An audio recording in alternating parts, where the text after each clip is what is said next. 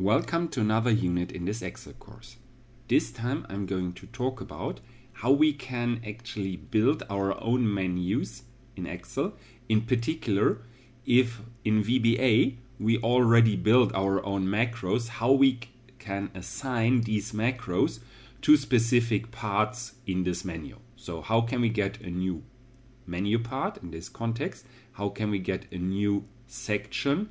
And how can we get each of these commands with their own icon for our uh, VBA programs, VBA macros. Well, it's easier than one might think. We simply go to File, Options, and here to the part Customize Ribbon. So you can see in this case, I'm getting an information about all the tabs which are available, which are already activated. But, well, that's not so interesting at the moment. The more interesting part down here, I have the part New tab. I can even move this to the position where I want this situated in my menu. So here I'm putting this at the very end. And then I can rename uh, name this. So for example, I can call this My Macros. And in this tab, I also have these groups. So this group, for example, is called clipboard. This is called font. That's here where I already have a new group, which I can also rename, which, for example, I could call data bank commands. Could even select an icon for this. At this point, doesn't really make so much sense. So just stick with this. If I directly click OK, you see he builds my new tab, but there's nothing in this.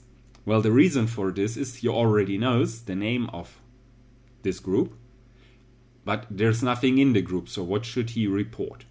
So if you actually want to add something to your new group, go back to Options, Customize Ribbon, to our particular macro tab, and here this group, and then on the left, we simply select the part macros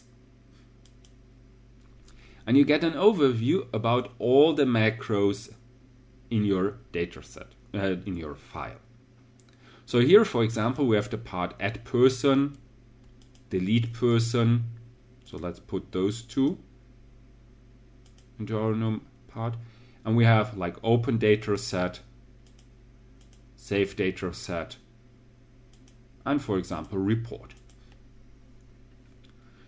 So at this point, if I would just click OK, he would actually take these names. That's usually a bit unwieldy. So let's just rename them. For example, add person. And for new person, we then select a corresponding icon. For, for example, here this empty sheet. And we have delete person. Again, I'm just writing this and not the name of the macro, delete person. Take a look, what could we select for this? Let's say we take here this sign, or let's go with this cancel sign.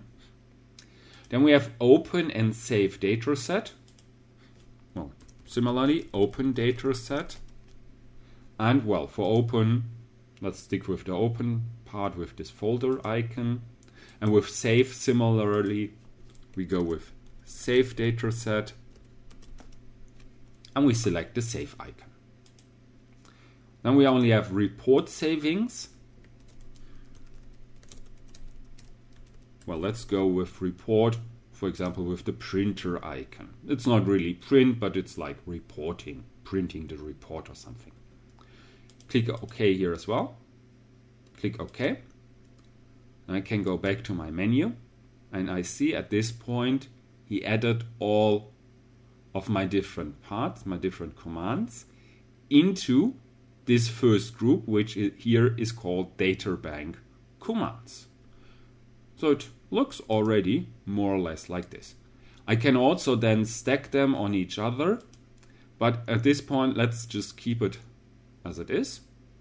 So here we have all the different commands which might be interesting. and which actually offer an advantage because at this point we can actually lock, for example, our users out of doing anything about our code. So the only possibility they have to access our code is either via developers and the macro part, but for this they need to know how to actually work with macros. But much more easily, they simply go to this part, my macro, and here they have a direct, easy to use menu with all the particular commands for this sheet. So this actually makes it much easier to have someone else work with the Excel sheets you design and with the VBA code you design. So well, that's everything I wanted to talk about. We now know how we can actually build our own tabs, our own menu parts, how we can add new groups and new commands to each of the groups. And that's basically it. So I say goodbye and see you next time.